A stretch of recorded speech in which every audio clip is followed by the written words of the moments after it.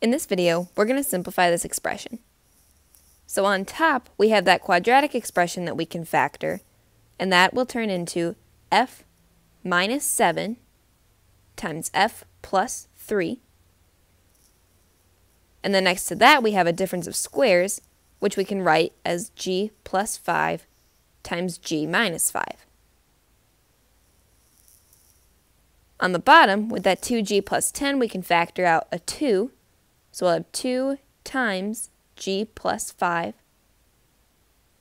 times f plus 3.